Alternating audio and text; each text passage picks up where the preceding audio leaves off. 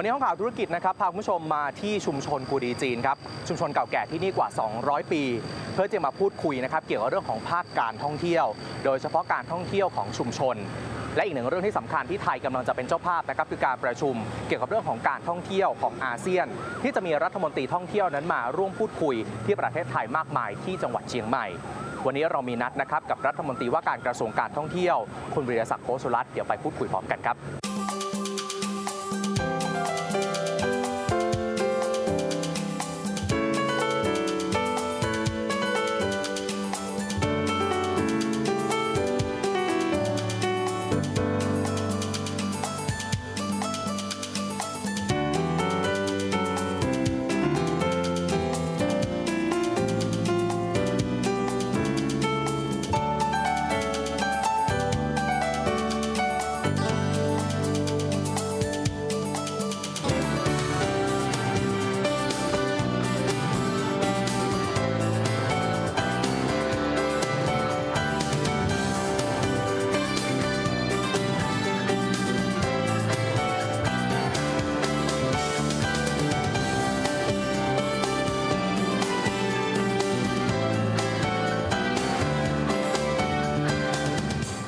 นนี้เราก็อยู่กับท่านรัฐมนตรีว่าการกระทรวงการท่องเที่ยวและกีฬานะครับ คุณวีรศักดิ์โพสุรัตน์ครับคุณวีรศักดิ์สวัสดีครับ สวัสดีครับ อยากให้คุณวีรศักดิ์พูดถึงเรื่องของการท่องเที่ยวปีนี้หน่อย ไม่ว่าจะเป็นการขับเคลื่อนของเศรษฐกิจก็ตาม หรือแม้แต่ที่หลังๆ เราจะเริ่มพัฒนาเกี่ยวกับเรื่องของการท่องเที่ยวฐานรากหรือว่าชุมชนครับใช่ครับ การท่องเที่ยวปีนี้ต้องถือว่ามาถึงจุดที่สูงที่สุดในประวัติศาสตร์อุตสาหกรรมท่องเที่ยวไทย ผมเพิ่งเป็นคนไปรับนักท่องเที่ยวชาวต่างประเทศที่เข้ามาเยือนประเทศไทยเป็นคนที่ 35 ล้าน เมื่อก่อนเราจะสวัสดีปีใหม่กัน เราไม่เคยมาถึง 35 ล้านครับแล้วคนที่ 34 ล้านมาถึงก่อนที่ผมจะไปสัมผัสมือคนที่ 35เนี่ยหนึ่งอาทิตย์เท่านั้นเองแต่ว่าในอีก 7 วันถัดมาเนี่ยมาถึงคนที่ 35 ล้านโตรวดเร็วมาก แต่ว่าเครื่องบินที่ลงมาแต่ละลำนั้นเนี่ยแทบจะขี่คอกันเดินออกมาเลยนะครับ ในขณะเดียวกันก็เป็นปีที่เราได้ต้อนรับนักท่องเที่ยวชาวอเมริกันคนที่ 1 ล้านของปี อเมริกานี่อยู่ไกลเรามากเลยนะครับครับข้ามโลกข้ามทะเลมานั้นเนี่ยแต่มาถึง 1 ล้านคนใน 1 ปีนั้นเนี่ยนี่เป็นตัวเลขที่ไม่ธรรมดา ถามว่าทำไม 35 ล้านคนผมถึงตื่นเต้นคำตอบก็เพราะว่า 35 ล้านคน แปลว่าครึ่งหนึ่งของประชากรไทยละเรามีแขกต่างประเทศเข้ามาเยี่ยมบ้านเราเนี่ยถึงเท่ากับครึ่งหนึ่งของจำนวนคนบ้านเรา จึงน่าตื่นเต้นแปลว่ากระบวนการจัดการหลังจากที่เขาออกจากสนามบินมาแล้วนั้นเนี่ยเราจะพาเขาไปไหน ที่ผ่านมาเนี่ยคนต่างประเทศมาเที่ยวบ้านเรานั้นเนี่ยด้วยเหตุผลสองเรื่องเท่านั้นยิ้มแย้มและยืดหยุ่นคนไทยนะมีความยิ้มแย้ม เป็นอัธยาศัยสั่งก็ไม่ได้ซื้อก็ไม่ได้ซ้อนก็ไม่ได้เขายิ้มเขาเอง และเราก็ไม่เคยรู้สึกเลยว่า ชาวต่างประเทศที่เข้ามาในประเทศไทยนั้นเนี่ยมาในฐานะผู้รุกราน ย้อนไปกี่ปีกี่ปีในประวัติศาสตร์ก็ไม่รู้สึกอย่างนั้นจึงยิ้มแย้มและยืดหยุ่นเพราะเราก็อยู่กันแบบหยวนหยวนนะครับยืดหยุ่นความยืดหยุ่นนั่นเองเป็นสิ่งที่ไม่ได้มีในสังคมอื่นๆง่ายนะสังคมต่างประเทศหลายที่เขามีความแข็งตัวมากๆ เกี่ยวกับกฎระเบียบของเขา ของเราเนี่ยก็ค่อนข้างหย่อนหย่อนหน่อยเราก็ยืดหยุ่นและยิ้มแย้มและเป็นสิ่งที่คนเนี่ยเขารู้สึกว่ามาแล้วเนี่ยนี่แหละ DNA ของคนไทยคือยืดหยุ่นและยิ้มแย้มอาจจะพูดภาษาได้ไม่ถนัด ใช้ภาษาต่างประเทศก็ไม่เก่ง แต่ว่ายืดหยุ่นยิ้มแย้มเนี่ยมีทุกภาคจะคนเมืองหรือคนต่างจังหวัด หรือคนบ้านนอกที่ไหนเขาก็รู้สึกว่ายิ้มแย้มยืดหยุ่นอันนี้เป็นข้อแรกก่อนว่า เราแปลว่าคนเข้ามาเนี่ยเยอะไปคนไทยก็ออกมาเที่ยวบ้านตัวเองเยอะไทยเที่ยวไทยเวลานี้ประมาณ 125 ล้านคนครั้งครับเยอะมากทีเดียวแต่ทั้งหมดเนี่ยยังค่อนข้างกระจุกตัวอยู่กับเมืองหลักๆจะ เป็นเชียงใหม่หาดใหญ่กรุงเทพภูเก็ตพัทยาของพวกนี้ เราก็เห็นว่ายิ่งแออัดแบบนั้นเนี่ยก็จะยิ่งทำให้รอยยิ้มเนี่ยชักจะน้อยลง ไม่ว่าจะเป็นรอยยิ้มของแขกหรือเป็นรอยยิ้มของเจ้าบ้านครับเราจึงเห็นว่าควรที่จะให้พาเขาออกไปเจอเมืองอื่นๆบ้าง แล้วเราก็พบว่าถ้าถ้าถ้า 20 เมืองแรกของไทยเนี่ยเป็นเมืองหลัก ที่เหลือเขาเรียกว่าเมืองรองได้ทั้งสิ้นเราก็เลยว่างั้นพาเที่ยวเมืองรองเป็นต้นไปนับจากปีนี้เป็นต้นไปเราจะพาท่านไปรู้จักกับเมืองรอง เพราะการพาท่านไปรู้จักกับเมืองรองนั้นเนี่ยต้องใช้เวลาในการให้ข้อมูลอีกสักระยะหนึ่งคนไทยถึงจะรู้จักชาวต่างประเทศถึงจะคุ้นเคย แล้วเขาออกไปนั้นอย่างเราเชื่อว่าเขาจะไปเจอความจริงแท้ความจริงแท้ที่ว่านั้นเนี่ยแค่วิ่งไปอำเภอเมืองของอาเมืองรองนั้นเนี่ยครับท่านก็จะได้เห็นบรรยากาศเก่าๆที่คนต่างจังหวัดเขาอยู่กันมาด้วยความ สบายๆเขาไม่รีบเร่งเหมือนคนหลักคนเมืองหลัก นั่นก็จะได้บรรยากาศแบบหนึ่งซึ่งคนโลกปัจจุบันเนี่ยหาสัมผัสได้ไม่มากแล้วแต่ถ้าหากว่าจะให้ถึงก้นบึ้งจริงๆเนี่ยต้องไปเที่ยวชุมชนนะชุมชนนั้นเนี่ยแปลว่าหลายที่ในประเทศไทยชุมชนเหล่านี้เนี่ยอายุเกือบ200 300ปีกันครับอยู่กันมานานมากอยู่มาก่อนกรุงรัตนโกสินทร์ก่อตั้งโดยซ้ำไปนั้นเนี่ย เขาอยู่มาได้ยังไงในภาวะความเปลี่ยนแปลงนับร้อยร้อยๆปีแล้วเขาอยู่ของเขาต่อมาได้แบบวิถีดั้งเดิมของเขานั้นเนี่ยการไปสัมผัสเขาจึงไปสัมผัสก้นบึ้งของความเป็นตัวเรานั่นแหละเราอาจจะเคยอ่านเจอในตำราในหนังสือบ้างแต่ลองไปสัมผัสดูครับแล้วถ้าไปแล้วเนี่ยสิ่งหนึ่งที่ตำราไม่สามารถบอกได้ คือบรรยากาศ ไม่สามารถบอกได้คือรสชาติครับไม่สามารถบอกได้คือกลิ่นสัมผัสของแบบเนี้ยเป็นสิ่งที่ต้องไปเที่ยวชุมชนเองแล้วจะรู้สึกได้ว่า บางทีถนนในตรอกในซอกซอยแคบๆเลยนะครับ แต่เดินเข้าไปแล้วไม่เพียงแต่ไม่น่ากลัวแต่ยังรู้สึกอบอุ่นเป็นมิตรอาการแบบนี้เป็นสิ่งที่คนชั้นกลางซึ่งเป็นลูกค้าใหญ่ที่สุดของอุตสาหกรรมท่องเที่ยวนะโหยหาครับมันชวนให้เขาได้ไปเห็นได้ไปสัมผัสไม่ว่าจะเป็นคนไทยหรือชาวต่างประเทศ จะค้างในชุมชนหรือไม่ไม่ใช่สาระสำคัญในชั้นนี้สาระคือการไปสัมผัส การท่องเที่ยวในเวลาเนี้ยผมจึงใช้มันเป็นเครื่องมือใหม่ของประเทศไทย ในการใช้ในการลดความเหลื่อมล้ำครับการลดความเหลื่อมล้ำไม่ได้เป็นเรื่องของว่าคนเมืองมาแล้วเป็นผู้ให้อะไรกับชุมชนหรอกจริง ๆ เป็นผู้มารับจากชุมชนไปด้วยซ้ำรับสติ มารับในสิ่งที่เป็นภูมิปัญญากลับออกไปว่าเออนะที่ทุกอย่างจะใช้เงินเป็นตัวแลกเปลี่ยนหมดเลยนะชุมชนเขาไม่ได้อยู่ด้วยเงินนะเขาอยู่ด้วยใจครับแล้วมาลองแลกเปลี่ยนกับเขามาลองดูกับเขาเธอคิดว่าเธอมีมากกว่าเขาเหรอเธอลองมาดูเขาสิ เขาสามารถอยู่มาได้เป็นหลายหลายร้อยปีนั้นเนี่ยโดยที่เขาไม่ได้ไปเป็นทาสของเงินนั้นเนี่ยเขาอยู่มาได้นั้นเนี่ยเนี่ยความจริงแท้ที่เรามีการท่องเที่ยวแบบที่ก้าวไปสู่เมืองรองก็ดีการท่องเที่ยวแบบไปหาชุมชนก็ดีนั้นเนี่ยเป็นแนวค่อนข้างใหม่เป็นแนวค่อนข้างใหม่แปลว่าเราจะไปโดยที่เรายอมที่จะสละความสะดวกสบายบางอย่าง แต่เราไปเพราะเราคิดว่าสิ่งที่ได้กลับคืนทดแทนมา คือความจริงแท้ คนเราแสวงหาเท่านั้นแหละครับแสวงหาอะไรเท่านั้นเองแสวงหาในสิ่งที่ถูกหรือสิ่งที่ผิด แต่การเข้าไปเจอกับสิ่งที่แท้ แล้วเขาอยู่มาได้ 200 300 ปีนั้นเนี่ยครับแปลว่า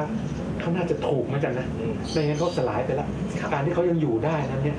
เป็นคำสอนอะไรให้กับเราแล้วล่ะว่าการที่เราอยู่กับทุนนิยมมากๆ แล้วเราเครียดกับมันนะแข่งแย่งชิงดีชิงเด่นอิจฉาเลื่อยขาเก้าอี้กันและคนชุมชนเขาอยู่กันได้ โดยที่เขามีความสามัคคีเขารู้จักกัน เขามีน้ำใจให้กันเขาช่วยเหลือกันและกัน เงินไม่ใช่เรื่องใหญ่ที่สุดของเขาแล้วผมคิดว่าตรงนั้นแหละตำราไม่ได้สอน แต่ชุมชนสอนได้ครับฉะนั้นจากคำตอบนี้ครับ นสครับมันจะไปส่งผลต่อเรื่องของการประชุมที่กำลังจะจัดขึ้นในครั้งนี้ ที่จะนำเรื่องของการท่องเที่ยวในประเทศไทยเนี่ยมันเป็นต้นแบบในการประชุมเกี่ยวกับเรื่องของการประชุมการท่องเที่ยวอาเซียนด้วยครับการท่องเที่ยวรัฐการประชุมรัฐมนตรีท่องเที่ยวของอาเซียน แล้วก็จะมีบวกบวกสามแล้วก็ประเทศคู่เจรจาจะตามกันเข้ามา ก็แปลว่าระดับรัฐมนตรีนี้จะมาเจอกันแล้วปีนี้ประเทศไทยเป็นประธานและผมก็ต้องทำหน้าที่เป็นเจ้าภาพในการประชุมนั้นเนี่ย ประมาณสิปีถึงจะเบียนมาถึงบ้านเราสักครั้งหนึ่งนะครับ เราก็พบว่าเราตั้งโจทย์ของการประชุมครั้งนี้หลายอย่างอันแรกโจทย์ใหญ่สุดก็คือเรื่องของความยั่งยืนครับซึ่งนั้นเป็นโจทย์ที่สำคัญมากเลยไม่ว่าจะเป็นการพัฒนาอะไรก็ตามขอให้มีความยั่งยืนนะโจทย์ของรัฐมนตรีท่องเที่ยวที่จะมาปรึกษาหรือแปลว่าคนที่มาเป็นรัฐมนตรีท่องเที่ยว ก็จะไปพูดกับคนในประชาคมของเขาเอง เราจะพูดเรื่องยั่งยืนกันยังไง แล้วเราจะมาปรึกษากันเรื่องความยั่งยืนในอาการท่องเที่ยวในอาเซียนกันอย่างไรแล้วกลับไปเพื่อจะไปทำให้แต่ละประเทศ แต่ละประชาคมของเขาเนี่ยก้าวไปสู่เป้าหมายแห่งความยั่งยืนนั่นก็ได้เรื่องที่สองก็คือความเชื่อมโยงครับที่ใช้คำว่า connectivity นะทำยังไงถึงจะให้อาเซียน ซึ่งเมื่อก่อนนั้นเนี่ยเต็มไปด้วยเส้นแบ่งแดนที่ คนข้างนอกอาเซียนเป็นคนมาเที่ยวขีดไว้เพราะเป็นช่วงที่มีการแบ่งแยกล่าเมืองขึ้นแล้วมาก็เที่ยวขีดว่าต่อไปนี้ที่เธอเคยคบกันไม่ได้ละมีเส้นมีแบ่งมีรั้วแล้วเธอก็จะต้องมีทหารไปคุมกำลังกัน แล้วเธอก็เริ่มทะเลาะกันอย่างเป็นเอาใจนะในเรื่องของเส้นแบ่งแดนแต่วันนี้เส้นแบ่งแดนไม่ใช่สาระที่ใหญ่ที่สุดต่อไปคนอาเซียนพบว่าจริงๆแล้วพวกเราเนี่ยอยู่บนพื้นฐานทางวัฒนธรรมร่วมแต่เป็นวัฒนธรรมที่มีความหลากหลาย อาเซียนตอนบนในสิบประเทศอาเซียนตอนบนนั้นเนี่ยส่วนใหญ่แล้วจะเป็นพุทธเชื่อมอยู่บนความเชื่อพุทธและความเชื่อเกี่ยวกับผีจริงๆแล้วคนของเราเนี่ยไม่ว่าจะมีการปกครองแบบไหน จริงๆ พวกเราแอบคบกันมาหลายร้อยปีแล้ว แล้วเราจะยังคงคบกันต่อไป เพราะนั้นการ connectivity คือการเชื่อมโยงของเรานั้นเนี่ยจึงเป็นการกลับมาสู่ธรรมชาติตั้งเดิมที่เราเคยเป็นอาเซียนตอนใต้ เป็นกลุ่มที่อยู่ติดทะเลซะเป็นส่วนใหญ่ แล้วก็เป็นวัฒนธรรมมาลายู วกกับความเป็นมุสลิมเป็นพื้นฐานจริงๆนะในมุสลิมก่อนมานั้นก็จะมีวัฒนธรรมพุทธวัฒนธรรมพราหมณ์อื่นๆเนี่ยก็กระจายอยู่ในแถบนี้ด้วยนะครับเราก็พบว่าจริงๆแล้วมันเป็นเหมือนระบบการผสมผสานอยู่ในตัวของมันเองแล้วพี่น้องประชาชนที่อยู่ในอาเซียนตอนใต้เขาก็ไปมาหาสู่เขามีพื้นฐานทางด้านภาษาและวิธีการสื่อสารและความเชื่อของเขาเนี่ยใกล้เคียงกันแต่ว่ามีความหลากหลาย แต่ก็มีความเหมือนเหมือนกันนะฮะ มีฟิลิปปินส์ที่อาจจะอยู่ห่างออกไปหน่อยเพราะอยู่ในทะเลที่ไกลออกไป แต่จริงๆแล้วเนี่ยเขาก็จะมีความเป็นหลายอย่างของเขานะที่เขารู้สึกตลอดเวลาเขายังคงเป็นอาเซียนกับเราตราของอาเซียนจึงเป็นตรามัดรวมข้าวสิบมัดมัดรวมกัน เพราะเรายืนอยู่บนพื้นฐานของที่เรียกว่าร้อนชื้นเขตศูนย์สูตรร้อนชื้นเขตศูนย์สูตรเนี่ยเราเจอฝนพร้อม ๆ กัน เราเจอมรสุมพร้อม ๆ กัน เราปลูกข้าวพร้อม ๆ กัน เรามีน้ำท่วมพร้อมๆกันแล้วเราก็มีหน้าหนาวพร้อมๆกัน เรามีวัฒนธรรมถอดรองเท้าก่อนขึ้นบ้านเหมือนๆกัน เพราะวัฒนธรรมชาวนานั้น เราจะรักษาความสะอาดของเรือนด้วยการที่ไม่สวมรองเท้าเพราะพวกเราเนี่ยไปเหยียบหมักเหยียบโคลนกันมา แล้วค่อยขึ้นบ้านมาเนี่ยก็ต้องล้างเท้าครับเพราะวัฒนธรรมน้ำจะเป็นลุ่มน้ำโขงเป็นลุ่มน้ำเค็มล้วนแล้วแต่เป็นวัฒนธรรมน้ำ ประมงของอาเซียนก็เป็นประมงท้องถิ่นประมงชายฝั่ง ที่มีขนาดใหญ่ที่สุดแห่งหนึ่งของโลก เราเชื่อมกันคนแถวนี้ที่นี่เป็นตลาดขายปลาน้ำจืดที่ใหญ่ที่สุดในโลกเพรามีความหลากหลาย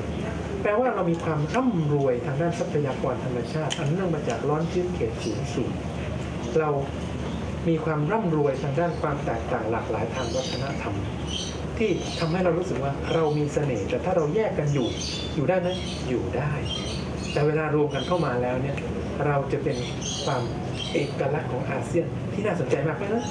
หัวเรื่องในการประชุมรัฐมนตรีอาเซียนเนี่ยจึงพูดอย่างน้อยสองเรื่องใหญ่ๆเนี่ยคือเรื่องความยั่งยืนแล้วก็ความเกี่ยวโยงเอาสองเรื่องนี้มาคุยกันดังนั้นในวันที่เราจะไปประชุมกันเรื่องนี้